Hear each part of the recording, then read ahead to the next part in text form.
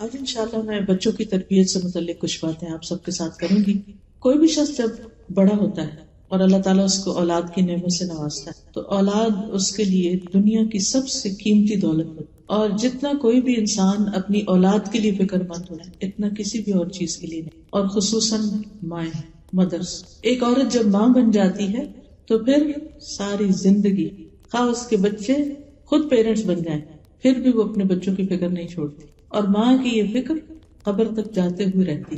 اس کے دل میں ہمیشہ بچوں کی خیر خواہی اور بچوں کی بھلائی کی سوچ ہوتی کہ کسی طرح میں انہیں کچھ بھی فائدہ پہنچا سکوں۔ خود بھوکے رہ کر، پیاسے رہ کر، تکلیف اٹھا کر، پریشانیاں اٹھا کر اپنے پر اپنے بچوں کو ترجیح دیتی۔ اللہ سبحانہ تعالیٰ نے یہ محبت ہمارے دلوں میں فطری طور پر رکھتی لیکن والدین کی اصل محبت، سچی محبت صحیح محبت اسی وقت ہو سکتی ہے جب وہ اپنے بچوں کو صرف اس دنیا میں نہیں، آخرت میں بھی کامیاب دیکھے۔ کیونکہ یہ دنیا تو ختم ہو جائے گی اور آخرت کی زندگی ہمیشہ ہمیشہ کی زندگی لہٰذا ہم سب کو اس بات کی کوشش کرنی چاہیے کہ ہم جب بچوں کے فیوچر کا سوچیں تو وہ فیوچر صرف اس دنیا کا فیوچر نہ ہو، بلکہ ان کی آخرت کا بھی ہو۔ کیونکہ اگر وہ دنیا میں کامیاب ترین انسان بھی ہوئے اور آخرت میں ناکام ہو گئے تو وہ کامیاب نہیں ہے۔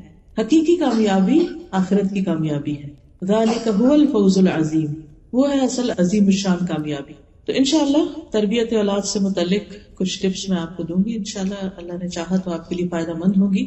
سب سے پہلی بات تو یہ کہ اولاد اللہ سبحانہ تعالیٰ کا عطیہ ہے۔ ایک تحفہ ہے ہم سب کے لیے۔ اور اللہ نے جس کو جو بھی دیا ہے، بیٹا ہو یا بیٹی، اس پر راضی رہنا چاہیے۔ کیونکہ یہ تقسیم بھی اللہ تعالیٰ کی ہے۔ جسے چاہتا ہے بیٹیاں دیتا ہے جسے چاہتا ہے بیٹے دیتا ہے جسے چاہتا ہے دونوں دیتا ہے جسے چاہتا ہے کچھ بھی نہیں دیتا۔ اور وہ سب کچھ جاننے والا ہے، ہر چیز پر قادر۔ یعنی اس کو زیادہ پتا ہے کہ کس کو مجھے کیا دینا چاہیے، کون کس کے قابل دوسری بات یہ کہ بچے ہمارے لیے ایک خوشی کا باعث ہوتے ہیں۔ اگرچہ ان کے ساتھ تکلیفیں بھی ہوتی ہیں، لیکن اللہ سبحان و تعالیٰ نے پیغمبروں کو جب اولاد کی خبر دی تو اس کو خوشخبری قرار دیا۔ مثلاً زکری علیہ السلام نے جب دعا مانگی بچے کے لیے اور ساری زندگی مانگتے رہے، بڑھاپے میں جا کر اللہ نے ان کو اولاد دی، تو فرمایا، یا زکریہ انا نبشر کا بے غلام نسم ہو اے زکریہ ہم آپ کو ایسے لڑکے کی خوشخبری دیتے ہیں جس کا نام یاہیا ہوگا۔ تو یہ صرف خبر نہیں ہوتی، بلکہ خوشخبری ہوتی ہے۔ اسی طرح ابراہیم علیہ السلام کو جب خوشخبری ملی، اسحاق علیہ السلام کی پیدائش کی تو اس وقت بھی اللہ سبحانہ تعالیٰ فرماتے فبشرنا اسحاق تو ہم نے اس کو اسحاق کی بشارت دی یعنی خوشخبری دی۔ نبی صلی اللہ علیہ وسلم بچوں سے بہت محبت کرتے تھے۔ حضرت حسن اور حسین جو ان کے نواسے تھے، ان کو آپ فرماتے کہ یہ دنیا میں میرے پھول ہیں۔ یہ دنیا میں میرے دو پھول ہیں۔ یعنی انہیں پھولوں سے تشبیح دیتے، جس طرح پھولوں کی کیئر کی جاتی ہے اور پھولوں کو دیکھ کر انسان خوش ہوتا ہے، ایسے ہی وہ بچوں کو دیکھ کر خوش ہوتے تھے۔ اور یہ حقیقت ہے کہ بچے ہماری آنکھوں کی ٹھنڈک ہوتے ہیں۔ اسی لیے ہمیں دعا سکھائی گئی ہے کہ ہم یوں مانگے ربنا حبلنا من ازواجنا و ذریاتنا قرۃ اعین وجعلنا للمتقین اماما۔ اے اللہ، ہمیں ہمارے ازواج اور ہماری اولاد سے آنکھوں کی ٹھنڈک عطا کر۔ یعنی ہم انہیں دیکھیں تو خوش ہو جائیں اور ہمیں متقین کا امام بنے اسی طرح آپ صلی اللہ علیہ وسلم نے فرمایا کہ تمہاری اولاد تمہاری بہترین کمائی یعنی انسان اپنی زندگی میں جو کچھ بھی کماتا ہے ارن کرتا ہے، اس میں سب سے بہترین چیز ٹاپ پہ جو ہے، وہ اس کے بچے ہیں، اولاد ہے۔ کیونکہ اولاد انسان کے لیے دنیا میں بھی راحت، مدد، خوشی کا باعث ہوتی ہے اور آخرت کے درجات میں بلندی کا بھی ذریعہ ہوتی۔ یعنی ایک انسان کے اپنے عمل ہوتے ہیں اور ایک اس کے بچوں کے اچھے کام اس کے نام اعمال میں، حسنات میں اضافہ کرتے ہیں اور وہ اس کے درجات کی بلندی کا ذریعہ بنتے ہیں۔ لیکن یاد رکھیے کہ جہاں اولاد ایک خوشخبری ہے، خوشی کا باعث ہے، وہاں اس کے ساتھ ساتھ ایک ذمہ داری بھی ہے۔ اور اس کے بارے میں ہم سے پوچھا بھی جائے گا۔ قیامت کے دن اللہ تعالیٰ اس کے بارے میں سوال کرے گا۔ ہم سے بہت سی اور باتیں پوچھی جائیں گی۔ ہماری جوانی کے بارے میں کہ وہ کس کام میں لگائی، ہماری علم کے بارے میں کہ اس پر عمل کتنا کیا، مال کہاں سے کمایا، کہاں خرچ کیا، اپنی زندگی کے ان کاموں میں لگائی۔ لیکن اس کے ساتھ ساتھ مسرد احمد کی روایت میں آتا ہے کہ انسان سے اس کے اہل خانہ کے بارے میں بھی خصوصیت سے پوچھا جائے گا کہ اس نے اپنے گھر والوں کے ساتھ کیا معاملہ کیا اور ان کی کیسی تربیت کی اور اس میں خصوصاً ماں کو ذمہ دار قرار دیا گیا یعنی باپ سے بھی پوچھا جائے گا، لیکن باپ کی نسبت ماں زیادہ ذمہ دار ہے کیونکہ ماں کا درجہ بھی زیادہ ہے اور بچے کا زیادہ وقت ماں کے ساتھ ہی گزرتا ہے۔ اللہ سبحانہ تعالیٰ نے ماں کو بنایا ہی ایسے ہے کہ وہ نسل انسانی کی تخلیق اور تربیت اور پرورش کا کام بہترین طریقے سے کر سکے۔ صحیح بخاری کی روایت میں آتا ہے، عورت اپنے شوہر کے گھر اور اس کے بچے کی نگران ہے اور اس سے ان کے بارے میں پوچھا جائے گا۔ یعنی بازو کا ہسبینڈ وائف ایک دوسرے پہ ڈالتے رہتے ہیں، آپ ان کو سمجھائیں، آپ ان کو سمجھائیں، آپ ان کا خیال کریں۔ لیکن حقیقت یہ ہے کہ ہر ایک اپنا اپنا رول ہے اور اس میں ماں کی ذمہ داری زیادہ بتائی گئی ہے۔ اب آپ دیکھیے کہ بچوں کی تربیت کا آغاز انسان کے بچے کی پیدائش کے بعد سے نہیں، اس سے پہلے سے ہی ہو جاتا ہے۔ بلکہ شادی سے پہلے جب لڑکے یا لڑکی کا انتخاب کیا جاتا ہے، اس وقت انسان صرف یہ نہ دیکھے کہ لڑکی خوبصورت ہے یا لڑکا بہت مالدار ہے یا دنیاوی اعتبار سے اسٹیٹس کیسا ہے، بلکہ یہ بھی دیکھے کہ یہ لڑکی یا لڑکا یہ دونوں ایک دوسرے کو اس اعتبار سے بھی دیکھے۔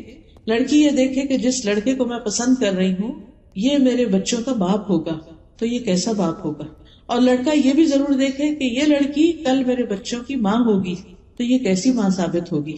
کیا یہ ایک اچھی نسل کو پروان چڑھائے گی؟ کیونکہ جس لڑکی کو ہم اپنے گھر میں لا رہے ہیں، اس کے اندر یہ کوالٹی تو ہونی چاہیے کہ وہ گھر بنانے والی ہو، اور گھر صرف ان دیواروں سے نہیں بنتا یا فرنیچر سے نہیں بنتا، گھر انسانوں سے بنتا ہے کہ انسانوں کی تربیت کیسی ہوگی۔ رسول اللہ صلی اللہ علیہ وسلم نے فرمایا دنیا فائدہ اٹھانے کی چیز ہے اور دنیا کی بہترین متا نیک عورت ہے۔ اور پھر اسی طرح ابو حرارا کہتے ہیں کہ رسول اللہ صلی اللہ علیہ وسلم نے فرمایا، جب ایسا شخص تمہارے پاس نکاح کا پیغام بھیجے جس کے دین اور اخلاق سے تم مطمئن ہو، تو اس سے اپنی بیٹی کا نکاح کر دو۔ اگر ایسا نہیں کرو گے تو زمین میں کتنا فساد کرپا ہوگا یعنی بہت بگاڑ آئے گا۔ تو دیکھنے کی چیز، باقی چیزیں بھی ٹھیک ہے، انسان دیکھے۔ تاکہ ایک دوسرے کے ساتھ ایک کمپیٹیبلٹی ہو اور گزارا بہتر طور پر ہو۔ لیکن خاص طور پر دین کے بارے میں ضرور دیکھنا چاہیے۔ اور دین میں بھی ایسا نہیں کہ ہر شخص شیخ بن جائے گا اور پھر وہی دیندار ہوتا ہے اور باقی لوگ دیندار نہیں ہوتے۔ نہیں، دیندار ہونے سے مراد کیا ہے کہ انسان اللہ کے حقوق ادا کرتا ہو اور اس کے ساتھ ساتھ بندوں کے حقوق بھی ادا کرتا ہو۔ اللہ سبحانہ تعالیٰ کے حقوق میں کیا چیز آتی ہے؟ جسے نماز کا فریض یعنی اگر لڑکی ہے تو نماز کی پابند ہو، لڑکا ہے تو بھی نماز پڑھتا ہو۔ اسی طرح اگر لڑکا کما رہا ہے تو حلال کمانے والا، کیونکہ کمائی کا اولاد کی تربیت پر بہت بڑا اثر پڑتا ہے۔ پھر اسی طرح آپ دیکھیے کہ لڑکی ہے تو اس کے بھی یعنی کہ اخلاق کیسا ہے یا شرافت کیسی ہے، اور اس کے ساتھ ساتھ اس میں بھی نماز اور پھر ساتھ حجاب۔ کیونکہ جس طرح مردوں کے لیے حلال کمانا، اسی طرح عورت کے لیے اس کی عزت، عصمت اور اس کی شرم و حیا جو ہے، اس کا لحاظ رکھنا بھی ضروری ہے۔ پھر اسی طرح یہ ہے کہ تربیت کے جب باری آتی ہے یعنی شادی ہو گئی، آپس میں ایک دوسرے کے ساتھ اچھا سلوک ہے، حقوق العباد کی ادائیگی ہے، تو بچوں پر سب سے بڑی چیز جو اثر کرتی ہے، وہ ماں باپ کا عمل ہوتا ہے۔ ان کا آپس کا اچھا سلوک اور تعلق ہوتا ہے۔ جس گھر میں ہسبینڈ وائف ایک دوسرے کو ریسپیکٹ دیتے ہیں، ایک دوسرے سے محبت کرتے ہیں، ایک دوسرے کے ساتھ اچھے طریقے سے کمیونیکیٹ کرتے ہیں، اس گھر میں بچے ایک سکون کی فضا میں سانس لیتے ہیں۔ اور پھر ماں باپ سے بہت سی چیزیں بن کہے سیکھتے ہیں۔ یعنی انسان صرف کسی لیکچر سے تربیت نہیں حاصل کرتا، بلکہ عمل کی تربیت، عملی نمونہ ہونا رول ماڈلنگ جو ہے وہ بہت اہم ہوتی ہے تربیت میں۔ اگر ہم چاہتے ہیں کہ ہمارے بچے نیک ہوں، تو یہ ہمارے کہنے سے نہیں ہوگا، صرف ہمارے تھنکنگ سے نہیں ہوگا، بلکہ اس کے لیے ضروری ہے کہ ہم ان کے سامنے وہ اچھا نمونہ پیش کریں، وہ بن کے دکھائیں جو ہم ان سے چاہتے ہیں کہ وہ بنے اب آپ دیکھیے کہ ہر ماں باپ کی یہ خواہش اور تمنا ہوتی ہے کہ ہمارے بچے نیک ہوں، فرما بردار ہوں، اچھے ہوں۔ لیکن ماں باپ کو یہ ضرور سوچنا چاہیے کہ کیا ہم اللہ کے فرما بردار ہیں؟ کیا ہم ایک اچھے انسان ہیں؟ کیا ہم اللہ کا اور بندوں کا حق دینے والے ہیں؟ اگر ہم خود نہیں کر رہے، تو بچوں سے کس چیز کی ہم توقع کر سکتے پھر اسی طرح آپ دیکھیے کہ اگر ہم چاہتے ہیں کہ ہمارے بچے آئندہ دین کے لیے قربانی کرنے والے ہوں، تو ہمیں یہ دیکھنا ہوگا کہ ہم خود کیا قربانیاں کر رہے ہیں؟ ہم خود اپنے دین کے لیے کیا محنت کر رہے ہیں؟ اگر ہماری زندگی میں غفلت ہے تو وہ خود بخود بچوں میں ٹرانسفر ہوگی۔ وہ بھی اس کو ایزی لیں گے۔ اگر ہم خود وقت پہ نماز نہیں پڑھ رہے تو بچے کیوں پڑھیں گے؟ چاہے آپ کتنا بھی چلا کے ان کو کہیں کہ اٹھو نماز پڑھو، لیکن آپ نے خود تو پڑھی نہیں۔ وہ تو آپ سے پلٹ کے پوچھیں کہ آپ نے پڑھ لی؟ اور نہ بھی کہیں تو وہ دیکھ رہے ہیں کہ آزان ہوئی ہے، وقت ہوا ہے، اور کسی کو بھی فکر نہیں ہے، پرواہ نہیں ہے۔ کوئی بھی اٹھ کے نماز نہیں پڑھا تو وہ کیوں پڑھیں گے؟ کیا انہوں نے کتنا ہی اچھا لیکچر سن رکھا حضرت عائشہ کہتی ہیں، جب سے میں نے ہوش سنبھالا، میں نے یہی دیکھا۔ کہ میرے والدین اسلام پر ہیں۔ یعنی اسلام کی حالت میں میں نے ان کو اپنی تربیت کرتے ہوئے دیکھا۔ پھر اسی طرح بعض روایات میں یہ بھی آتا ہے کہ جو ہمارے اسلاف تھے یا نیک لوگ تھے، وہ اپنے بچوں کی تربیت کے لیے اللہ کی عبادت میں زیادہ وقت لگاتے تھے۔ یہ سوچ کر کہ اس کا اثر ہمارے بچوں پر پڑے، ہماری اولاد پر پڑے۔ کسی نے کیا خوب کہا کہ جب بھی میں کسی سلجھے ہوئے نوجوان کو دیکھتا ہوں تو مجھے یقین ہو جاتا ہے کہ ضرور اس کا باپ سالے اور نیک آدمی تھا، جس کا عکس یا ریفلیکشن اس میں نظر آ رہا۔ کیونکہ قرآن مجید میں اللہ تعالیٰ فرماتے ہیں سورت القاہ پر جمعے کو پڑھی جاتی ہے آج بھی آپ نے پڑھی ہوگی کانا ابو ہما صالح وہ دو بچے جن کا خزانہ زمین میں دفن تھا اور اس کے اوپر دیوار تھی۔ جب وہ گر گئی تو خزر علیہ السلام نے اس کو بنایا اور اس کی وجہ یہ بتائی کہ ان کا باپ نیک آدمی تھا، وہ فوت ہو گیا۔ تو اللہ تعالیٰ یہ چاہتا تھا کہ ان بچوں کا خزانہ محفوظ رہے۔ اس لیے میں نے یہ دیوار بنا دی۔ خود فوت ہو چکا ہے وہ نیک آدمی۔ اور اس کے بچے یتیم ہیں۔ اپنے آپ کو پوری طرح لک آفٹر نہیں کر سکتے۔ لیکن اللہ سبحانہ تعالیٰ ان کے فیوچر اور ان کے مال کی اور ان کے انٹرسٹ کی حفاظت کس طرح کرتے ہیں اس غیبی مدد کے ذریعے ان کی دیوار بنوا دی جاتی کہ جب یہ اپنی جوانی کو پہنچے تو پھر اس مال کو استعمال کر سکے۔ کیونکہ نیک آدمی کو اس کی نیکی کا فائدہ اس کی اولاد کی نیکی کی شکل میں نظر آنے لگتا ہے دنیا میں۔ یہ دنیا میں جلد ملنے والی خوشخبری ہوتی ہے۔ اسی طرح ایک مشہور اسپیکر ہیں ڈاکٹر نبیل۔ وہ کہتے ہیں، مجھے جب نوافل کی ادائیگی میں سستی اور کاہلی ہونے لگتی ہے، تو مجھے میرے بیٹے اور دنیا کی پریشانیاں یاد آتی کہ کہیں نفلوں کی ادائیگی میں میری سستی اور کاہلی میری اولاد کی پریشانیوں کا سبب نہ بن جائے۔ کیونکہ انسان جب نفل پڑتا ہے تحجد پڑتا ہے تو پھر اپنی اولاد کے لیے دعائیں کرتا ہے۔ اور اگر کوئی نماز ہی نہیں پڑھتا یا تحجد ہی نہیں پڑھتا، تو دعا کس وقت کرے گا؟ وہ تو دعا کرتے ہوئے بھی شرمائے گا۔ تو وہ کہتے ہیں کہ یعنی جب مجھے تھوڑی سستی آنے لگے تو مجھے اپنے بچے یاد آنے لگتے ہیں کہ میں نے ان کی خاطر اٹھنا ہے اور دعائیں کرنی ہے ان کے لیے۔ تو یہ چیز ان کو عبادت میں اور زیادہ آگے بڑھاتی۔ اور ایک جنرل اصول کے طور پر آپ دیکھیے، ایک کامن سینس کی بات ہے۔ کہ اگر ہم اللہ کی اطاعت نہیں کرتے فرما برداری نہیں کرتے، ہم اللہ کے اوبیڈینٹ نہیں ہیں، تو ہم کیسے توقع کر سکتے ہیں کہ ہمارے بچے ہمارے اوبیڈینٹ ہو جائیں؟ ہمارا احسان اپنے بچوں پر زیادہ ہے یا اللہ کا احسان ہم پر زیادہ ہے؟ ہم نے تو اپنے بچوں کو وہ کچھ نہیں دیا جو ہمیں ہمارے رب نے دیا۔ لیکن ہم وہ سب کچھ پا کر اپنے رب کے لیے اس طرح اطاعت گزار نہیں ہوتے، اس طرح اس کے آگے نہیں جھکتے۔ جس طرح ہم اپنے بچوں سے چاہتے ہیں کہ ان کے لیے تھوڑا بہت بھی کر کے وہ ہمارے خاموش غلام ہو جائیں۔ جو ہم کہیں بس وہ کریں۔ اور اگر وہ تھوڑی بھی اپنی مرضی کرنے لگتا ہے تو ہم ناراض ہونے لگتے ہیں۔ ڈاکٹر نبیل یہ بھی کہتے ہیں کہ میرا ایک دوست تھا کویت میں، ایک بہت اچھے منصب پر تھا یعنی کہ بہت ہائی پوسٹ پر تھا، لیکن وہ ہر روز چند گھنٹے والنٹیئر کرتا تھا، فلاحی کاموں میں لگاتا تھا۔ تو میں نے اس سے کہا کہ دیکھو، اگر تم جو جاب کر رہے ہو، اسی میں تھوڑے گھنٹے اور لگاؤ، اور محنت کرو تو تمہیں اور زیادہ آگے تم جا سکتے تھے تو تم اپنا کچھ ٹائم جو ہے وہ والنٹیئر کرنے میں گزار دیتے ہو تو کہنے لگا کہ میں چھ بچوں کا باپ ہوں، جن میں سے اکثریت میرے بیٹوں کی ہے یعنی بوائز ہیں۔ مجھے ڈر ہے کہ وہ بے راہ روی کا شکار نہ ہو جائیں۔ جب سے میں نے قرآن مجید میں کانا ابو ہما صالحہ کی تفسیر پڑھی ہے کہ ان کا باپ نے ایک آدمی تھا، اس لیے ان بچوں کی اللہ نے کیئر کی، تو میں نے اپنی زندگی کا ایک بڑا حصہ فلاحی کاموں میں لگا دیا ہے۔ میں والنٹیئر کرتا ہوں۔ اور اس کے اثرات میں اپنے بچوں میں دیکھ رہا ہوں۔ کیونکہ بچے جب دیکھتے ہیں نا کہ ہمارے ماں باپ سب کی خدمت کرتے ہیں، سب کے کام آتے ہیں اور اپنا وقت لگاتے ہیں، تو پھر ان کے اندر اس چیز کی ایک قدر ہوتی ہے، ایک ڈگنیٹی ہوتی ہے۔ لیکن اگر کوئی بچہ یہ دیکھے کہ باپ بیکار پڑا سوتا ہی رہتا ہے اور کوئی کام وقت پہ نہیں کرتا، اپنی ذمہ داریاں بھی نہیں پوری کرتا، کما کے بھی نہیں لاتا، تو وہ اس کے لیے کیسا رول ماڈل ہو؟ اور وہ باپ پھر بچوں سے کیا توقع کر سکتا ہے کہ وہ اس کے لیے کیسے بچے بنے؟ پھر اگر ہم بھی چاہتے ہیں کہ ہمارے بچے نیک ہوں پرم بردار ہوں سالے ہوں، تو ہم سب کو چاہیے کہ ہم چاہے جاب کرتے ہوں، چاہے کچھ کام کرتے ہوں، چاہے ہم بزنس کرتے ہوں، کوئی کمائی کرتے ہوں، لیکن اس کے ساتھ ساتھ ہم ضرورت مند انسانوں کی مدد بھی ضرور کریں۔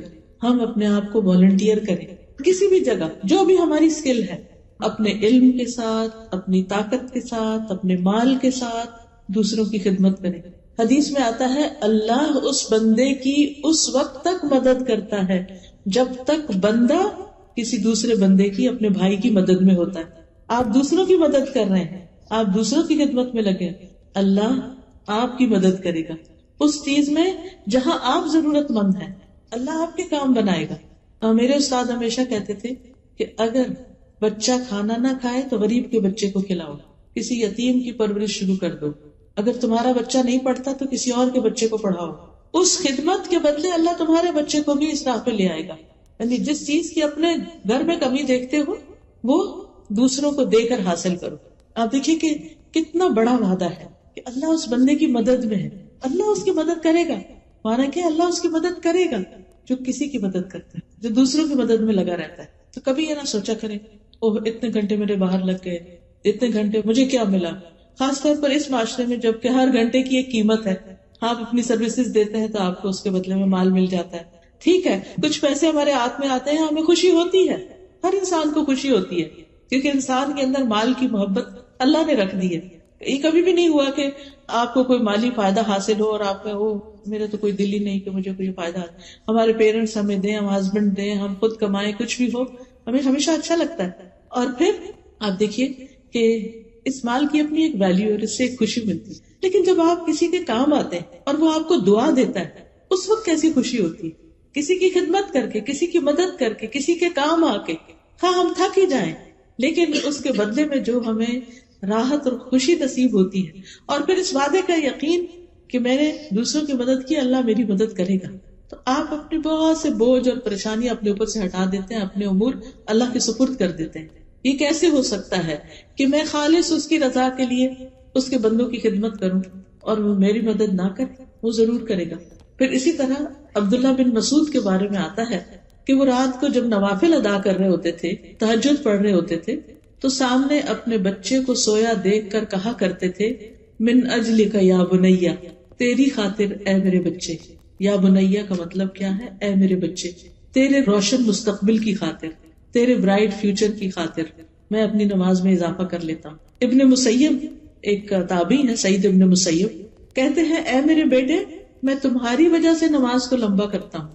اس امید پہ کہ تمہارے بارے میں میری حفاظت کی جائے گی۔ یعنی تمہارے بارے میں مجھ سے جو سوال کیا جائے گا قیامت کے دن، اس کے بارے میں مجھے پکڑ نہیں ہوگی۔ اور پھر اسی آیت کی تلاوت کی وکانا ابو ہما صالحہ اسی طرح ایک آدمی کا طریقہ یہ تھا کہ جب بھی اس کا کوئی بچہ اخلاقی طور پہ بگڑ جاتا، کوئی ضد کرتا، کوئی بدتمیزی کرتا، تو وہ صدقہ کرتا اور کھانا کھلاتا، یہ دو کام کرتا۔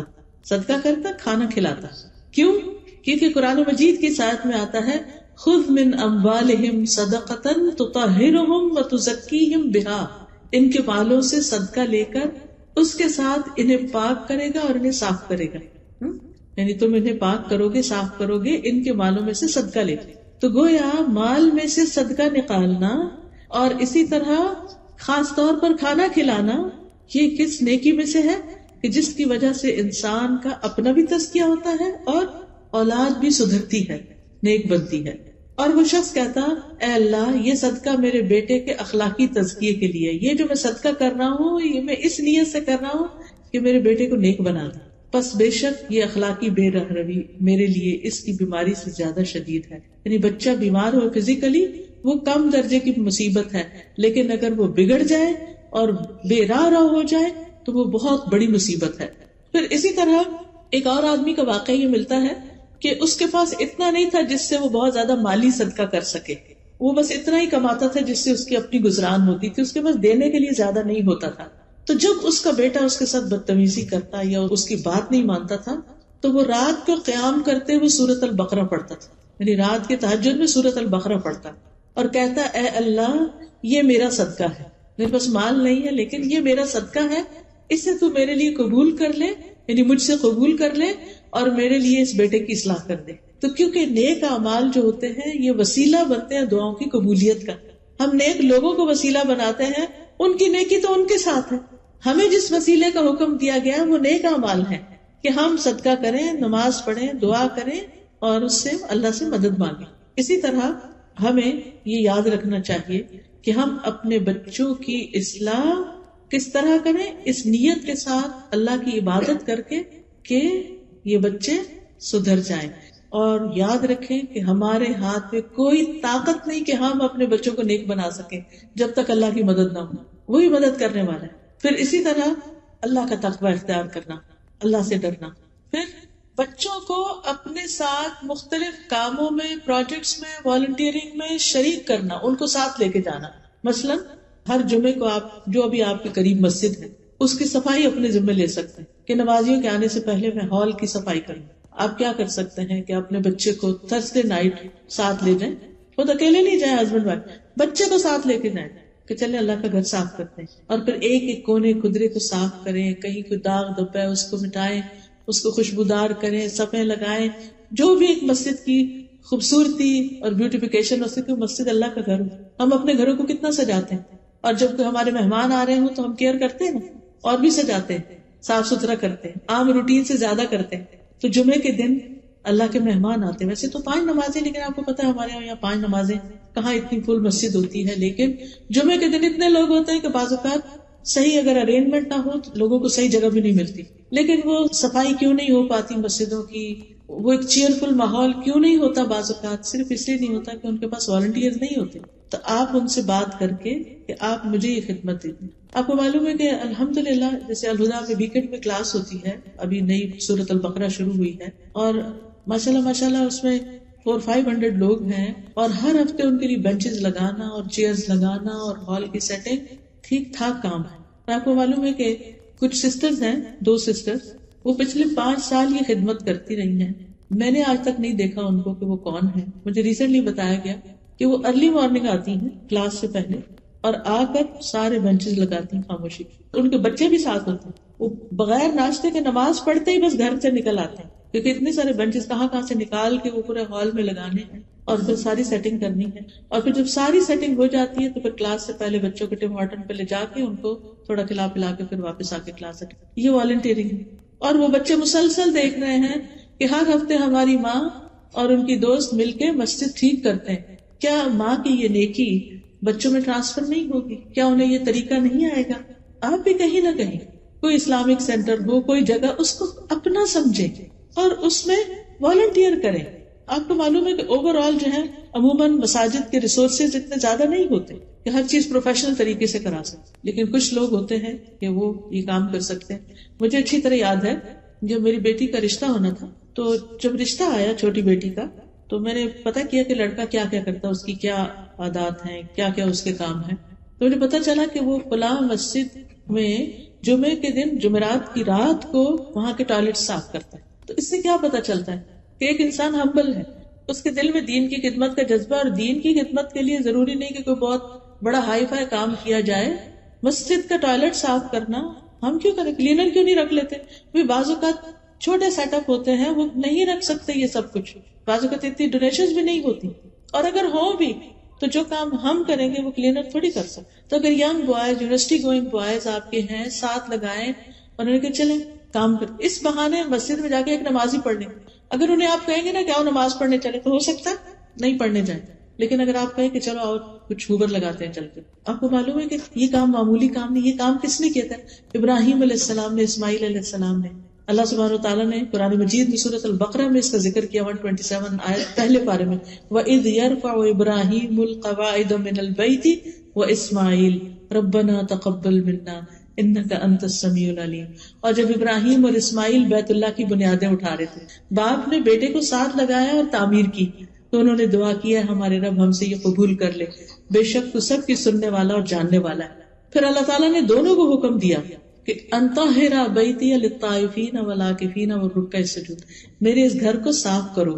طواف کرنے والوں کے لیے، سجدہ کرنے والوں کے لیے، رکوع کرنے والوں کے لیے اعتکاف بیٹھنے والوں کے لیے۔ پیغمبر ہیں۔ دونوں پیغمبر دوسرے چھوٹے تو بعد میں بنے، لیکن پیغمبر ہیں، بہت معزز ہیں۔ لیکن وہ اللہ کا گھر تعمیر بھی کرتے ہیں اور اس کی صفائی بھی کرتے ہیں۔ یہ کوئی معمولی کام نہیں۔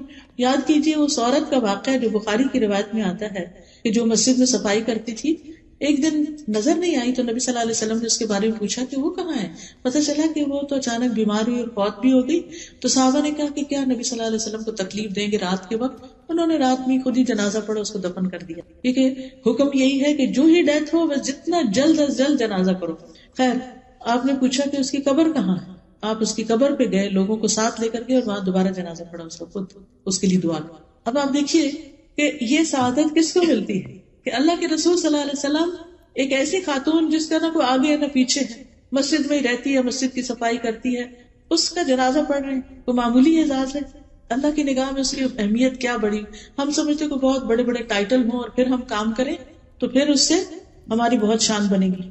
شان ہمیں لوگوں کی نظر میں چاہیے، تو شان اللہ کی نگاہ میں ہونی چاہیے۔ تو یہ چھپی نیکیاں بعض اوقات اور یہ اللہ کی خاطر ایسے کام کرنا اس کا اثر اولاد میں جاتا ہے۔ پھر اسی طرح مسجدوں کے علاوہ آپ دیکھیے ہاسپٹلس ہیں، بوڑھے لوگوں کے اولڈ ہومس ہیں۔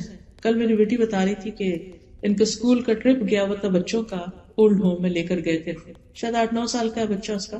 کہہ رہی تھی کہ کل شام گھر آ کر اتنا رویا اتنا رویا اتنا رویا کہ جس طرح اس نے بوڑھے لوگوں کو وہاں دیکھا۔ کوئی فیملی ان کے پاس نہیں، وہ بیمار ہیں، وہ بیٹھے ہوئے ہیں لونلی ہیں۔ تو وہ سین اس تو مجھ سے پوچھ رہی تھی کہ میں اب اس کو کس طرح کمفرٹیبل کروں؟ کیا بتاؤں اس کو؟ ہمارے بچے یہ سب چیزیں تو دیکھتے نہیں، نہ جنازہ دیکھتے ہیں، نہ قبرستان دیکھتے ہیں، نہ اولڈ ہوم دیکھتے ہیں۔ دل کس چیز سے نرم ہو؟ وہ اپنی آخرت کے بارے میں کیوں سوچے؟ وہ تو دنیا ہی دنیا ان کے سامنے۔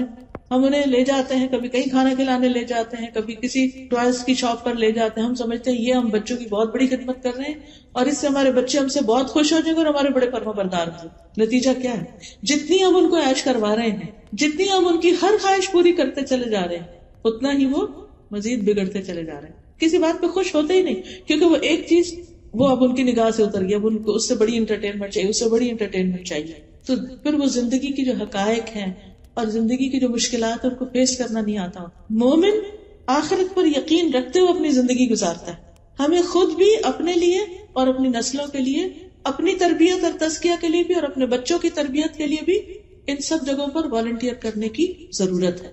پھر اسی طرح اور بھی آپ دیکھ سکتے آپ کے نیبرہڈ میں کوئی بزرگ خاتون ہو سکتی ہے کوئی بیمار ہو سکتا ہے، کسی کو کسی اور چیز کی، نئے امیگرینٹس کو مختلف چیزوں کے لیے ضرورت ہو سکتی ہے۔ آپ دیکھیے کہ آپ کہاں کس کی کیسے مدد کر سکتے ہیں؟ آپ کی سرزمین تو وہ ہے جس نے بہت سارے سیرین ریفیوجیز کو ویلکم کیا ہے۔ ان کے بچے کیا پڑھ رہے ہیں، کیا نہیں پڑھ رہے؟ ان کے حالات کیا ہیں؟ ایسے لوگوں سے آپ کانٹیکٹ کر سکتے ہیں جو ڈائریکٹ ان کی مدد خدمت کر رہے ہیں۔ ان کے ساتھ آپ شامل ہو سکتے ہیں۔ بہت کام ہے کرنے کے۔ لیکن اپنی ذاتی زندگی، اپنی گھریلو زندگی، اپنی سوشلائزنگ میں سے وقت نکالیے۔ اگر آپ واقعی چاہتے ہیں کہ آپ کے بچے صحیح راستے پر آ جائیں تو پھر اپنے جان، اپنے وقت، اپنے مال کو اللہ کی خاطر قربان کریں۔ پھر اسی طرح بات ہو رہی تھی کہ اچھا رول ماڈل بن کے بچوں کی تربیت کرنا۔ اس میں یہ بھی آتا ہے کہ جیسے بچوں سے کیے ہوئے وعدے پورے کریں، ان سے غلط بیانی نہ کریں، سچی بات کریں۔ ایک خاتون نے اپنے بچے کو بلایا، ادھر آؤ، میں تمہیں کچھ دوں۔ تو آپ نے اس سے پوچھا کہ تم کیا دینے والی انہوں نے کہا کہ میں اس کو کچھ میٹھی چیز دوں گی، کھجور دوں گی۔ تو آپ نے فرمایا اگر تم اسے کچھ نہ دیتی تو تمہارے اوپر جھوٹ کا گناہ لکھا جاتا ہے۔ کبھی بھی بچوں سے جھوٹ نہ بولو، ان کا اعتماد چلا جائے زندگی پر کسی پہ بھی ٹرسٹ نہیں کرتے۔ کیونکہ ماں ایسی چیز ہوتی ہے نا کہ جس پر انسان آنکھیں بند کر کے ٹرسٹ کرتا ہے۔ لیکن اگر یہ انسان کو احساس ہو جائے نا کہ ماں دھوکا دیتی ہے، ماں ڈرامہ کرتی پچھلے دنوں کسی خاتون کی بات مجھ سے ہوئی تو بہت پریشان تھی۔ کہتی، بچے نے گھر چھوڑ دیا۔ بچے نے گھر چھوڑ دیا، کہیں اور جا کے رہتا۔ ہے اور میں نے اس سے بہت کہا ہے کہ تم ایسا نہیں کرو، لیکن وہ نہیں مانتا۔ تو کہتی کہ جب شاید وہ رونے لگی یا کسی طرح اس کو سمجھانے لگی تو کہتے ماں آپ بہت ڈرامے کرتے اب آپ دیکھیں، ماں کو یہ کہنا کہ تم ڈرامے کرتی ہو، اس کے آنسو کو ڈراما سمجھنا کہ جیسے ڈرامے میں کوئی ہوتا ہے نا کیریکٹر، تو اس میں وہ جھوٹ موٹ کر ہوتے ہیں اور وہ لگتا ہے جیسے رو رہے اگر ہمارے بچے ہمارے بارے میں یہ سوچے کہ ہماری ماں جو ہے وہ ٹرسٹ وردی نہیں ہے اور ہمارے ساتھ بس ایسی فراڈ کر رہی ہے اور ہماری کیئر نہیں کرتی اور اس کو ہماری ضرورت نہیں ہے یا کسی بھی طرح اگر بچوں کے اندر ایسی کوئی فیلنگ آ گئی ہے تو یہ نہیں ہونا چاہیے نا۔ تو اس کے لیے یہ ہے کہ بچوں کے ساتھ کیا کریں؟ سچ بات کریں۔ ٹرسٹ بلڈ کریں۔ کسی بھی کامیاب ریلیشن شپ کے لیے بہت ضروری ہوتا ہے کہ ایک دوسرے پر اعتماد کیا جائے ٹرسٹ کیا جائے۔ کیونکہ جہاں ٹرسٹ نہیں ہوتا نا، وہاں پھر اتفاق نہیں ہوتا محبت نہیں ہوتی۔ پھر وہ بات نہیں سنتے۔ اس کے علاوہ بچوں کو فارمل اسلام کی ایجوکیشن بھی دینی چاہیے۔ دنیا کی تعلیم تو لے رہے ہیں۔ اگر اسکول میں جاتے ہیں تو آپ دیکھیں، دن کا ایک بڑا حصہ اسکول میں گزار کے آتے ہیں۔ لیکن اگر وہ گھر پہ ہیں اور آفٹر نون میں آپ خود ان کو سکھا سکتے ہیں یا کسی مسجد میں یا کہیں بھی ان کو بھیج سکتے ہیں، تو دین کی باقاعدہ تعلیم دیں۔ دیکھیے کہ ہم میں سے اکثریت نے اس ماحول میں آنکھ کھولی ہے جہاں ہمارے کانوں میں آزانوں کی آوازیں بھی پڑتی تھی آس پاس مسجدیں بھی تھی گھروں میں نمازیں بھی پڑھی جاتی تھی بہت کچھ دیکھ دیکھ کے ہم سیکھ گئے اسلام کے بارے میں۔ لیکن ہمارے بچوں کو بہت کچھ سکھانے کی ضرورت ہے، تب وہ ان کو پتا چلے گا کہ یہ دین ہے، یہ اسلام ہے۔ تو اس میں آپ دیکھیے کہ حضرت لکمان نے اپنے بیٹے کو جو سب سے پہلی چیز سکھائی تھی وہ کیا تھی؟ یا بنیا لا تو شرک بلّہ ان شرک اللہ ظلم نظیم سب سے پہلی چیز یہ کہ بچوں کا عقیدہ درست کرے ان کو توحید سکھائے ون اللہ سبحان تعالیٰ۔ کیونکہ اگر وہ توحید پر ہے نا، تو کوئی اسے غلطی کو تاہی ہو بھی گئی تو اللہ تعالیٰ معاف کر دے گا۔ لیکن اگر شرک میں انہوں نے زندگی بسر کی، تو شرک تو بہت بڑا ظلم ہے۔ شرک کا گناہ کبھی معاف نہیں ہوگا، جب تک کہ اس سے توبہ نہ کر لے تو لا الہ الا اللہ کا معنی سکھانا بہت ضروری وہ کیسے؟ عبداللہ بن عباس کہتے ہیں کہ ایک دن میں نبی صلی اللہ علیہ وسلم کے پیچھے سوار تھا تو آپ نے فرمایا، اے لڑکے، میں تجھے چند کلمات سکھا رہا ہوں۔ اللہ کے احکام کی حفاظت کرو۔ اللہ تمہاری حفاظت کرے گا۔ اللہ کی حفاظت کرو یعنی اللہ کے احکامات کی۔ تم اسے اپنے سامنے پاؤ گے۔ جب مانگو، اللہ سے مانگو۔ یہ ہے توحید کہ جب مانگو، اللہ سے مانگو۔ اس لیے بچوں کو کوئی بھی چیز ضرورت ہو تو آپ اسے کہ اچھا اللہ سے دعا کرو۔ اور پھر آپ اس کو ہیلپ کریں، لیکن اسے اپنے سے نہیں جوڑے اللہ سے جوڑے پھر جب مدد چاہو، اللہ سے مدد مانگو۔ امتحان میں مدد چاہیے بزنس میں جاب میں، کسی بھی چیز میں، اللہ سے مدد مانگو۔ جان رکھو، اگر ساری دنیا مل کر تمہیں کوئی نفع پہنچانا چاہے، تو تمہیں کچھ نفع نہیں دے سکتی، کچھ فائدہ نہیں دے سکتی، سوائے اس کے جو اللہ نے تمہارے لیے لکھ دیا۔ اور اگر سارے مل کر تمہیں کوئی نقصان دینا چاہے تو تمہیں کچھ نقصان نہیں دے سکتے، سوائے اس کے جو اللہ نے لکھ دیا۔ قلم اٹھا لیے گئے صحیح پہ خشک ہو گئے۔ تو اس سے کیا پتا چلتا ہے کہ بچوں کو بچپن سے ہی بتا دینا چاہیے کہ اصل فائدہ اور نقصان اللہ کے ہاتھ میں۔ کوئی تمہارا کچھ نہیں بگاڑ سکتا۔ تاکہ ان کے اندر ایک بہادری ہو۔ اور پھر یہ سکھاؤ کہ جو کچھ چاہیے اللہ کی طرف رجوع کرو۔ یہ ہے توحید۔ آپ کو معلوم ہے کہ حضرت یعقوب علیہ السلام کی جب وفات ہوئی، تو وفات سے پہلے وہ اپنے بچوں کو جو وسیعت کر رہے تھے، اس کے بارے میں قرآن میں آتا ہے، ام کن تم شہدا حضر یعقوب الموت اذ علی بنی ہی ماتا بدون من بعدی۔ قالوا نعبد الهك واله ابائك ابراهيم واسماعيل واسحاق اله واحدا ونحن له مسلمون۔ کیا تم موجود تھے اس وقت جب یعقوب کو موت آئی؟ جب اس نے اپنے بیٹوں سے کہا، میرے بعد کس کی عبادت کرو گے؟ پیغمبر ہے اللہ کے۔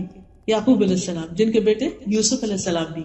اور باقی بھائی تو آپ کو معلوم ہے وہ کس طرح۔ تو ان کو وہ جوان بیٹے تھے، بڑے تھے، سمجھدار تھے۔ ان کو کہہ رہے ہیں کہ میرے بعد تم کس کی عبادت کرو گے یہ بتاؤ۔ حالانکہ وہ اسلام پر تھے۔ آج آپ دیکھیں آپ کے بچے جس ماحول میں رہ رہے ہیں، کیا یہ میک شور کرنا، جاننا ضروری نہیں کہ ہمارے بعد ہمارے بچے، ہماری نسلیں اسلام پر ہوں؟ تو ان سے پوچھنا چاہیے کہ ہمارے بعد تم کس ریلیجن کو فالو کرو گے؟ کس دین پر ہوگے تم؟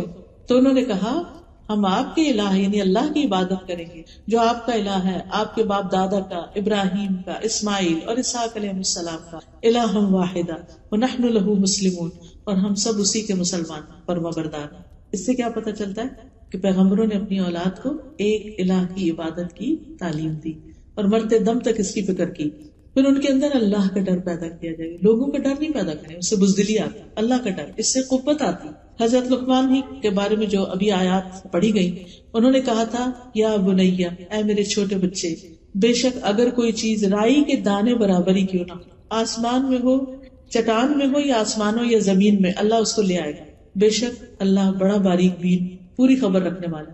تو اللہ سبحانہ تعالیٰ کے ناموں اور صفات کا علم دے بچوں کو کہ اللہ کون ہے؟ اللہ کی پہچان دے۔ پھر آخرت کا تصور دے ان کو۔ یاد ہوگا آپ کو کہ نبی صلی اللہ علیہ وسلم نے جب ابتدائی دعوت دی تھی اسلام کی، تو آپ نے اپنے خاندان والوں کو دعوت پہ بلایا تھا۔ تو اس وقت سب سے کتاب کر کے کیا کہا تھا؟ کچھ یاد ہے آپ کو؟ کہ جب آپ نے اپنے خاندان والوں کو دعوت پر بلایا تھا، تو اس وقت کیا کہا تھا؟ وہ اندر اشیر تقل اقربین اپنے قریبی رشتے داروں کو خبردار کرو۔ آپ نے ایک ایک کر کے سب کے نام لیے تھے۔ پھر خواتین میں سے پپی کا نام لیا اور اپنی بیٹی کا نام لے کے کہا، اے فاطمہ بنت محمد صلی اللہ علیہ وسلم، اپنے آپ کو جہنم کی آگ سے بچاؤ۔ میں اللہ کی طرف سے تمہارے لیے کسی چیز کا اختیار نہیں رکھتا۔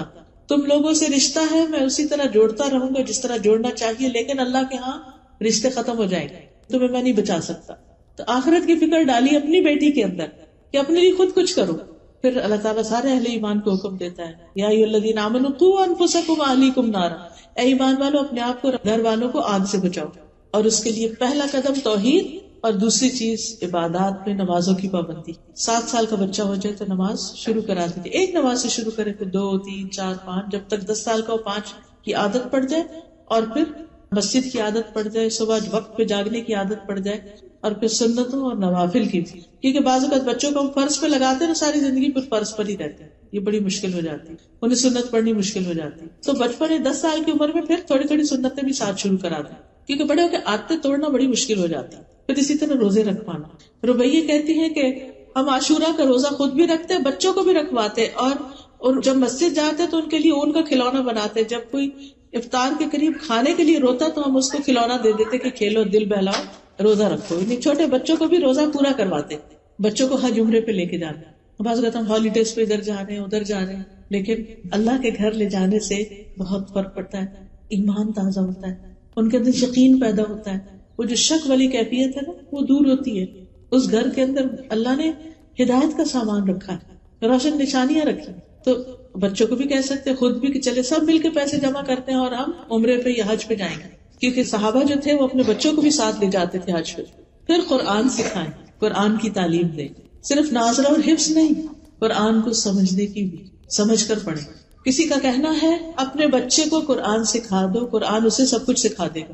یعنی جو تم اسے نہیں نہ سکھا سکتے، تربیت نہیں کر سکتے، یہ کرو، یہ نہ کرو۔ تو اگر تم اسے قرآن سکھا دو گے، اسے سب باتیں خود ہی پتہ چل جائیں گے تو تمہارا بہت کام کم ہو جائے گا۔ نہیں تم ایک کام کر لو، باقی کام وہ کرے گا۔ اسی طرح نبی صلی اللہ علیہ وسلم کی سیرت، احادیث اور دعائیں، خاص طور پر حفاظت کی دعائیں، صبح شام کی دعائیں۔ تاکہ بچے ہر طرح کے شر سے محفوظ رہیں۔ جب چھوٹے ہوتے ہیں تو مائیں خود پڑھ پڑھ کے دم کرتی رہتی ہے لیکن جب بڑے ہو جاتے ہیں پھر کوئی بھی نہیں پڑھتا۔ تو یا مائیں دور سے پڑھ رہی ہوتی ہے نہیں، ان کو سکھاتے، وہ خود پڑھے اپنے اوپر۔ چوتھی چیز جو ہے، وہ ہے اخلاق سکھانا۔ اخلاق اور تمیز اور آداب اور مینرس سویلائز اور مہذب بچے۔ عمدہ آداب، اچھے اخلاق۔ اور اس میں پہلی چیز یہ ہے کہ کسی کے ساتھ برا سلوک نہ کرے کسی کے لیے بہت کچھ نہ بھی کر سکے تو برا سلوک نہیں کرے گالی گلوچ نہ دے لڑائی جھگڑا نہ کرے کسی کے کھلونے نہ چھینے، کسی کی کوئی چیز چرا کے نہ گھر میں لے آئے ہوتا نا بعض بچے اسکول میں ان کو کسی کی چیز پسند آتی ہے، وہ کہتے لاؤ ادھر میں لے لوں۔ زبردستی بھی لے لیتے ہیں ایک دوسرے سے۔ ان کو کانسیپٹ ہی نہیں ہوتا چوری بوری کا۔ ان کو یہ ہوتا بس یہ چیز مجھے اچھی لگی ہے تو یہ تو مجھے ہی چاہیے۔ تو یہ بچپن سے ہی تمیز سکھانے کی کہ کسی کی چیز ہماری چیز نہیں ہے، ہم نہیں لے سکتے۔ حضرت لکمانی کی نصیحتوں میں کیا ابھی سنا آپ نے؟ عربی میں چونکہ آیا تھی، انہوں نے کہا میرے چھوٹے بیٹے، نماز قائم کرو، نیکی کا حکم دو، برائی سے منع کرو اس مصیبت پر صبر کرو جو تمہیں پہنچی ہے۔ سبحان اللہ، چھوٹے بچے کو سکھایا جا رہا ہے کہ صبر کرو۔ اب جو بچہ چھوٹی سی چوٹ لگ چیخنا پکارنا شروع کر دیتا ہے تو اس کو ہر وقت چیخنے کی اجازت نہ دے۔ اور پھر کہا کہ یہ ہمت کے کاموں میں سے ہے۔ لوگوں کے لیے اپنا رخسار نہ پھلاؤ، منہ پلا کے مت بیٹھو۔ زمین میں اکڑ کے نہ چلو۔ اللہ کسی اکڑنے والے، فخر کرنے والے سے محبت نہیں رکھتا۔ اپنی چال درمیانی رکھو، اپنی آواز نیچی رکھو۔ سب آوازوں سے بری یقیناً گدوں کی آواز ہوتی۔ ہے یہ انہوں نے اپنے بچے کو تمیز سکھائی ایٹیکیٹس اور مینرس ہمارا فرض بھی بنتا ہے کہ ہم بچوں کو ہر طرح کے آداب سکھائیں۔ لباس پہننے کے، سونے کے، جاگنے کے، گھر سے نکلنے، گھر میں داخل ہونے، سواری پر بیٹھنے کے، زندگی کے سارے معاملات میں۔ لیکن یہ سب کچھ اسی وقت سکھایا جا سکتا ہے جب ہم خود بھی سیکھیں۔ ہمیں خود بھی آتا ہوں پھر اسی طرح گھر میں آتے ہوئے اجازت لینے کے، کسی کی چیز اٹھاتے ہوئے ایون بہن بھائیوں کی بھی چیز لینی ہے نا، تو وہ طریقہ سکھایا کہ دیکھو اجازت سے لینی، زبردستی نہیں لینی کسی کی چیز۔ پھر اسی طرح گفتگو کے آداب، چیخنے چلانے کی اجازت نہ دے اپنا لہجہ درست رکھے بچے۔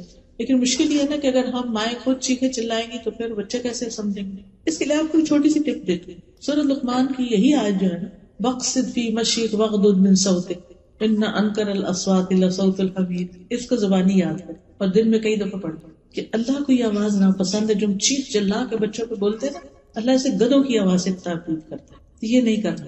بار بار اپنے آپ کو ریمائنڈ کریں سورت لقمان کی آیت نمبر نائنٹین ہے۔ ٹھیک اور ذرا اگر اس سے پیچھے سے چلے ہم تھوڑا سا، ولا تو خدا کا لناس منہ موڑ کے نہیں بات کرتے۔ یعنی کہ ہم کوکنگ کر رہے ہیں اور بچہ کو بات کر رہے ہیں تو ہم ایسے منہ کر رہے ہیں اور اپنا کام کر رہے ہیں۔ نہیں، اس کی طرف دیکھیں۔ تاکہ وہ امپورٹنٹ فیل کرے اپنے آپ کہ میری ماں مجھے توجہ دیتی یہ کسی کو اگنور کرنا جو ہے بہت انسلٹنگ ہوتا ہے۔ نبی صلی اللہ علیہ وسلم جس سے بات کرتے تو اس کی طرف توجہ فرماتے پھر کیا؟ ولا تم شف الارض مرحا۔ زمین پہ اکڑ کے نہ چلو۔ ان اللہ لا يحب كل مختال فخور۔ اللہ کو کوئی بھی خود پسند، فخر کرنے والا پسند نہیں۔ وقت فی مشی وغدد من صوتك ان انکر الاصوات لصوت الحمیر اپنی چال درمیانہ رکھو۔ اپنی آواز نیچی رکھو۔ بے شک سب آوازوں سے بری آواز، گدھوں کی آواز۔ اس کو بار بار پڑھے بار بار پڑھے پورا ہفتے کے لیے بس اس کو پریکٹس کرتے رہے اور امیجنیشن میں لائیں اس وقت میں کیسے لگنے۔ خود بخود آپ پھر ٹھیک ہوئیں گے۔ اپنے آپ کو خود دیکھیں۔ اب دیکھیں، ہم شیشے میں دیکھتے ہیں۔ یہ تو ٹھیک نہیں لگ رہا۔ نہیں اسکارف ایسے نہیں ایسا یہ تو سینٹر میں نہیں ہے۔ یہ تو صحیح نہیں۔ یہاں تو کچھ بل پڑ رہا ہے۔ اس کو بھی ٹھیک کرنے کی ضرورت ہے۔ قرآن بھی ٹھیک۔ میں نے دیکھا ہے بچوں کو جیسے الوداع میں بھی وزو کرنے آتی، اتنی دیر لگاتی ہے اسکارف ٹھیک ہو رہا ہے، ٹھیک ہو رہا ہے، ادھر سے دیکھتے، ادھر سے دیکھتے ہیں۔ ٹھیک ہے، ان کی عمر ہے، میں سمجھتی ہوں۔ سب سے امپورٹینٹ چیز ان کے لیے اسکارف ٹھیک کرنا تو اس میں آپ دیکھیے کہ اگر ہم اتنے کانشیس ہیں صرف اسکارف کے بارے میں کہ ہم اس میں نیٹ کلین ٹائڈی لگے تو پھر ہماری آوازیں اور ہمارا آنکھیں کھول کے چیخنا، چلانا، وہ کیا چیز ہے؟ اس میں بھی تو اچھے نہیں لگتے، اس وقت شیشے کے آگے جا کے چیخ کے دیکھیں کبھی اکیلے میں پریکٹس کر کے دیکھیں اور شکل کیسے ہو جاتی ہے۔ تو یہ شکل اگر ہم ایک سے زیادہ دفعہ بچوں کو دن میں دکھا رہے ہیں، تو اس سے بچنے کی ضرورت ہے۔ پھر اسی طرح رازوں کی حفاظت کرنا۔ اگر کوئی کہنا کہ مجھے پلانی بات کی، میں نہیں بتاؤں گا تو آپ اسے نہیں کریں مجھے تو بتانی ہوگی، مجھے بتاؤ۔ چاہے آپ ماں پھر بھی کہ اچھا اگر ابا نے کہا نہیں بتانی ٹھیک ہے، نہیں بتاؤ۔ تاکہ اس کو راز کی حفاظت کرے کوئی امانت و حفاظت کرنی آئے، کوئی وعدہ کی پورا کرنا آئے۔ پھر اسی طرح جب وہ بول رہے ہوں تو غلط لہجے اور بہت زیادہ سلینگ اور سویرنگ جو ہوتی ہے، اس کی اجازت۔ مجھے یاد ہے کہ ہم چھوٹے ہوتے تھے، تمہارے والد نے اتنا ہمیں ڈرایا اس چیز پر۔ ایک گالی دی اگر تو ایک سانپ قبر میں ہوگا۔ پتہ نہیں اس کی کیا حقیقت تھی، کیا نہیں، لیکن اتنا ڈر لگا، اتنا ڈر لگا کہ چپکے سے کہیں چپکے بھی گالی کسی کو نہیں دی۔ اتنا ڈرایا گالی سے کہ گالی تو مجھ سے نکالنی ہی نہیں۔ زبان ناپاک ہو جاتا آج آپ دیکھیں گے ہم پگ کا لفظ بولتے ہوئے تو مسئلے کا شکار ہو جاتے ہیں کہ نہیں نہیں، یہ تو آپ نے بچوں کو یہ اسکول میں کتاب کیوں پڑھا دی گئی اور یہ اس کو تم اتنا بڑا ایشو بنا لیتے اور اس کو گالی بنا دی۔ لیکن اور جو وہ ادھر ادھر کی گالیاں بول رہے ہیں، اس کے ہم شاید خود بھی نہ پتا ہو کیا کہہ رہے ہیں۔ اس چیز کو بہت کانشیس رہے، زبان صاف رہے۔ کیونکہ ایک دفعہ جب وہ زبان پہ ایسی چیزیں چڑھ جاتی ہیں پھر وہ ہمیشہ اسی طرح بولتے ہیں۔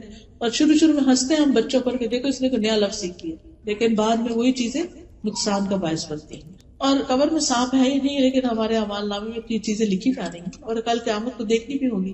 اسی طرح یہ کہ بچوں کو اچھا ماحول دیں۔ گھر کے اندر بھی، لیکن باہر جہاں دوستوں میں یا کسی سینٹر میں یا کہیں بھی بچوں کا کوئی کلب ہے، وہاں بھی دیکھ بھال کے لے جائیں کہ اور بچے کس قسم کے آتے ہیں وہاں پر۔ کیونکہ بچے اپنے دوستوں کو بہت کاپی کرتے ہیں۔ تربیت میں ایک حصہ آپ کا ہے، لیکن ایک حصہ ان کے ماحول کا ہے یعنی جو گھر سے باہر کا ہوتا ہے ان کے فرینڈس کیسے اچھے بھلے بچے دین سے دور ہو جاتے ہیں صرف اس وجہ سے کہ فرینڈس جو ہے وہ دین پر نہیں۔ حدیث میں آتا ہے صاف طور پر کہ انسان اپنے دوست کے دین پر ہوتا ہے۔ اسے چاہیے کہ دیکھے کہ وہ کس کو دوست بنا رہا ہے، کس کی کمپنی میں رہتا ہے۔ آپ جو کچھ ہے نا، اپنی کمپنی کی پیداوار میں۔ اس لیے اچھے لوگوں کے ساتھ، نیک لوگوں کے ساتھ خود بھی بیٹھے ان کو بھی لے جائیں، اس مجلس کی آداب سکھائیں۔ ٹھیک ہے، جب بچے شور کر رہے ہوں تو کسی الگ کمرے میں لے کے بیٹھے۔ لیکن میں نے دیکھا کہ کچھ مائیں اپنے چھوٹے بچوں کو مسجد میں لاتی ہیں، جیسے اللہ تعالیٰ سمجھا، سکھا کے پاس بٹھاتی ہیں اور بچے آرام سے بیٹھے رہتے میں حیرت سے دیکھتی رہتی ہوں کہ پورا خطبہ اس بچے نے سن لیا، بغیر کچھ گڑبڑ کیے۔ کیونکہ بچپن سے ماں کو لانے کی عادت تھی اور سمجھا کے لائے، یہاں بھاگنا نہیں، یہاں بولنا نہیں، یہاں کچھ کرنا نہیں، یہ اللہ کا گھر ہے، یہ اللہ کا گھر ہے۔ تو اس سے کیا ہوگا کہ اس کے دل میں جو ہی مسجد دیکھے گا، اندر آئے گا وہ۔ آٹومیٹیکلی اس میں یہ چیز آئے گی کہ یہاں نہیں بھاگنا، یہ نہیں۔ لیکن اگر ہم لے تو جائیں مسجد اور اس کے بعد اپنی دوستوں کے ساتھ لگ جائیں اور بچے ہر طرح کی بدتمیزیاں کرتے پھرے تو اس سے پھر وہ کیا سیکھیں گے؟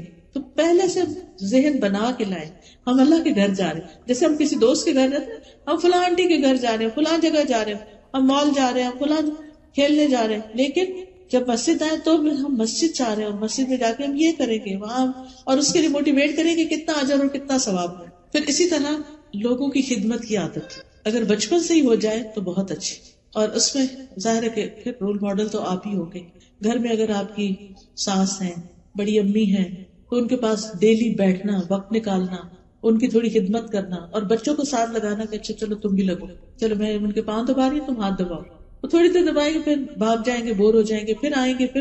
لیکن کرتے کرتے کرتے ان کو عادت ہو جائے گی۔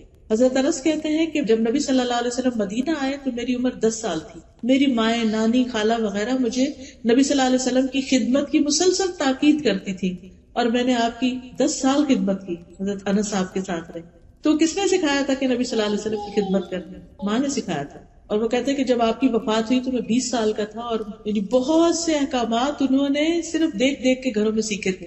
پھر اسی طرح اگر ممکن ہو تو بچوں کو کسی اسکالر یا کسی ایسے شخص کی کمپنی میں دے کہ جو ان کو بہت سی اور چیزیں بھی ساتھ رکھ کے سکھا سکے۔ یا اگر دنیا کی تعلیم تربیت بھی دینی ہے تو اس میں آپ دیکھیے کہ جیسے اگر کھانا پکانا ہے یا اور گھر کے کام ہے اگر آپ خود سکھا سکتے ہیں یا بعض اوقات آپ کی کوئی بہن یا بانجی یا کوئی اور، تو ان کے ساتھ تھوڑی دیر انہیں چھوڑے ان سے بھی سیکھیں چیزیں۔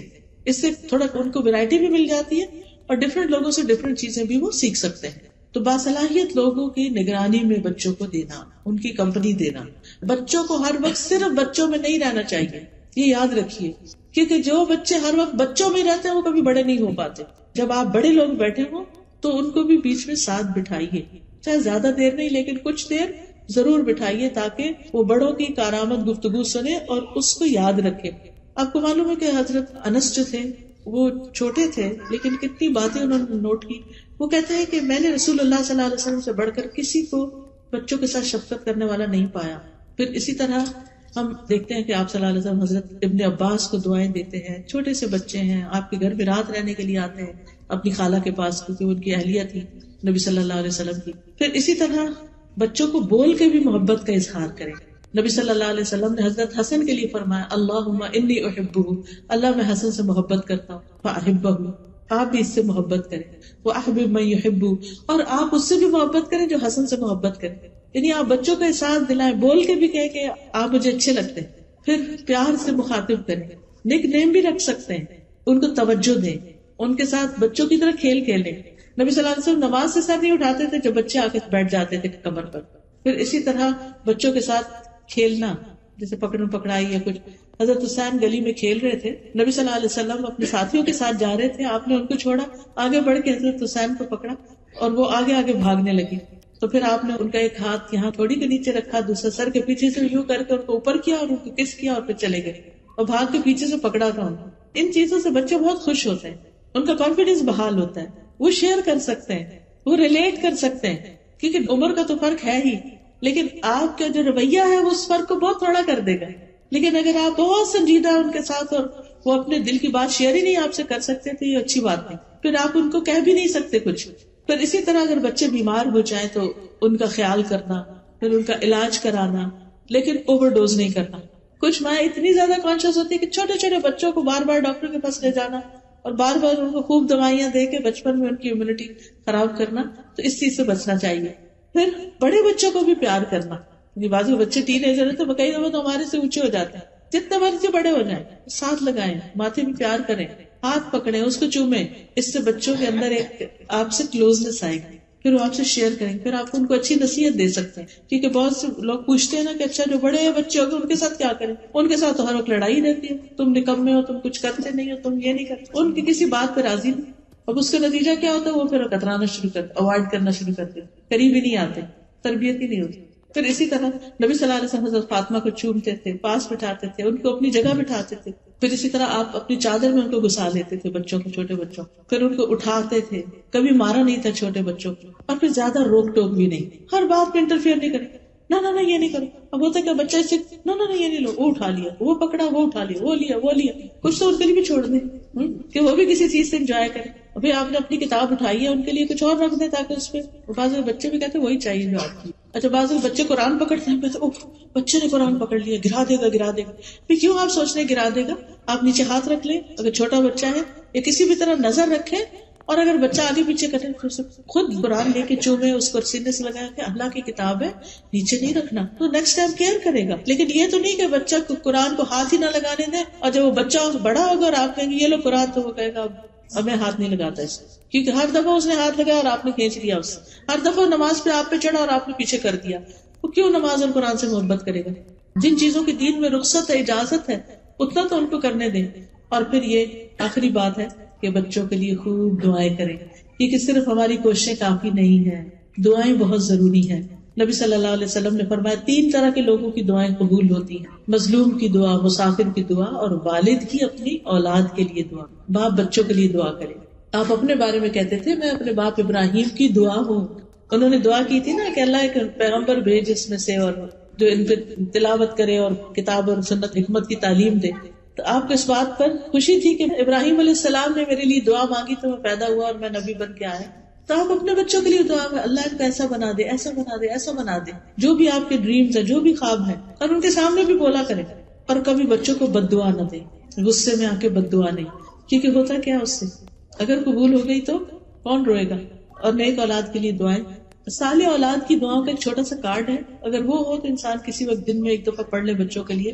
جس میں ربی حبلی من الصالحین رب حبلی من لدنک ذریۃ طیبہ انک سمیع الدعاء۔ ربنا هب لنا من ازواجنا وذرياتنا قرة اعین واجعلنا للمتقین اماما۔ ربنا واجعلنا مسلمین لك ومن ذریتنا امة مسلمة لك وارنا مناسکنا وتب علینا انك انت التواب الرحیم رب اوزعنی ان اشکر نعمتك التي انعمت علی وعلى والدي وان اعمل صالحا ترضاه واصلح لي في ذريتي. انی تبت واليك واني من المسلمين.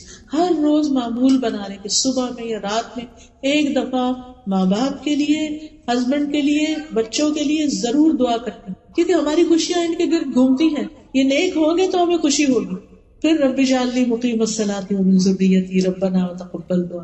پھر وجنبنی و بنی ان نعبد الاسنام اور پھر اللهم انی اعوذ بک من جار السوء ومن زوج تشیبنی قبل المشیب ومن ولد یقوم علی ربا اے اللہ میں تیری پناہ طلب کرتا ہوں برے پڑوسی سے. ایسی بیوی سے جو مجھے بڑھاپے سے پہلے بوڑھا کر یا ایسے شوہر سے. اور ایسی اولاد سے جو میرا آقا بن بیٹھے. یعنی اولاد ہماری ہمیں کنٹرول کرنا شروع کر ایسے مال سے جو میرے لیے عذاب بنے. ایسے چال باز دوست سے جس کی آنکھیں مجھے دیکھ رہی اور جس کا دل میری نگرانی کرتا۔ اگر وہ کوئی نیکی کی بات دیکھے تو اسے دبا دے اور اگر برائی دیکھے تو لوگوں کو پھیلا دے اسے۔ پھر بچوں کے نیک سلوک کے بدلے دعا دینا۔ اور اگر وہ کوئی بدتمیزی، شرارت بھی کرے تو بھی دعا دے، پر دعا نہ دے۔ اور پھر والدین کے بچے کام خراب کرے نا تو ماں باپ کے لیے دعا کرنی شروع کر دیں۔ بچے نہ فرمانی یا اللہ میرے ماں باپ پہ رحم فرما۔ رب الحم ہما کما رب علی صغیرہ آپ اپنے والدین کے ساتھ اچھے ہوں گے تو آپ کے بچے آپ کے ساتھ اچھے ہوں گے۔ پھر اسی طرح ان کی مال، اولاد، جان، اس میں برکت کی دعائیں کیا کریں۔ ان کے رزق میں برکت کی دعا، ابراہیم علیہ السلام نے دعا کی تھی نا اپنے بچوں کے لیے۔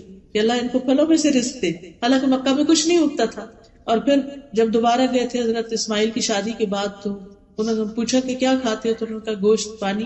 تو انہوں نے کہا کہ اللہ ان کی گوشت اور پانی میں برکت نازل فرماتے اپنے بچوں کو دعا دی ان کے رزق میں۔